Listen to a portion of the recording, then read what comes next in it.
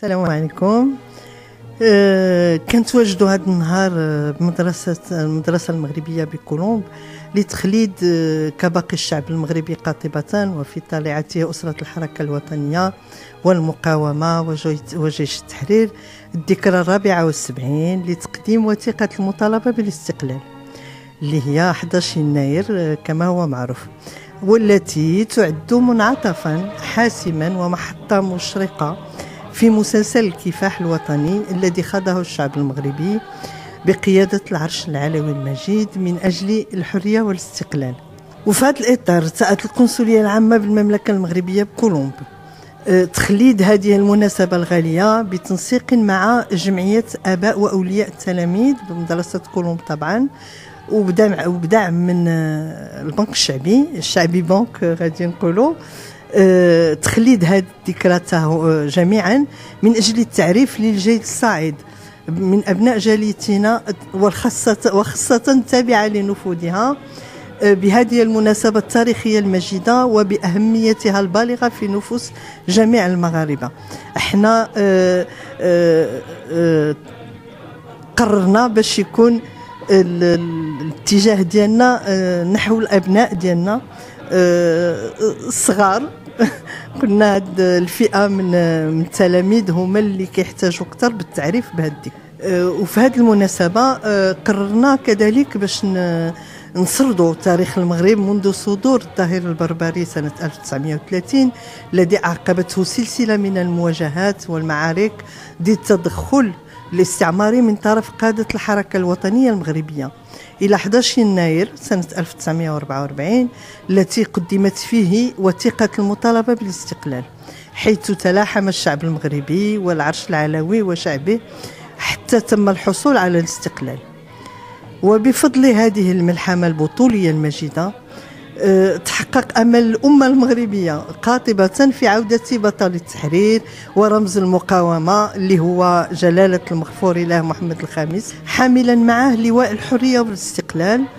ومعلنا عن الانتقال من الجهاد الأصغر إلى الجهاد الأكبر من أجل بناء مغرب جديد حر ومستقبل آه، أفضل. وفي هذا الإطار وسيرا على هذا النهج خالد الملك الموحد جلالة المغفور له الحسن الثاني معركة استكمال الوحدة الترابية آه، بحيث أنه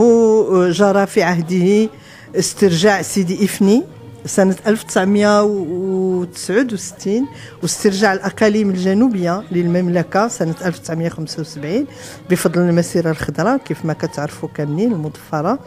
والتي تعتبر حدثا آه، وطنيا آه، عظيما. حيث ارتفع العلم الوطني في سماء العيون آه،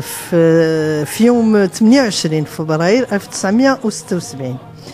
وجرى تعزيز استكمال الوحدة الترابية آه، باسترجاع إقليم والذهب كذلك آه، في يوم 14 غشت 1979 وكيف ما كتشوفوا الآن فالمغرب كيواصل مسيرة الملاحم الكبرى وكيعيش عهد جديد بقيادة جلالة الملك محمد السادس نصره الله الذي يسير بشعبه نحو مدارج التقدم والحداثة ومواصلا مسيرة الجهاد الأكبر وتثبيت وصيانة الوحدة الترابية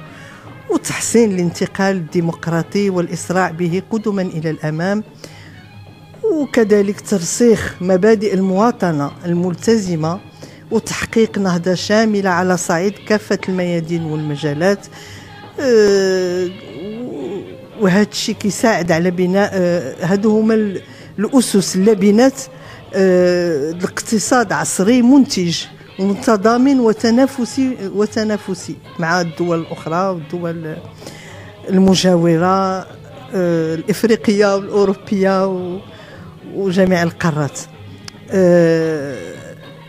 هذا تعزيز مكانة المغرب كقطب جهوي وفاعل دولي وإذكاء إشعاعه الحضاري كبلد للسلام والقيم الإنسانية آه، المثلى آه، ولا آه،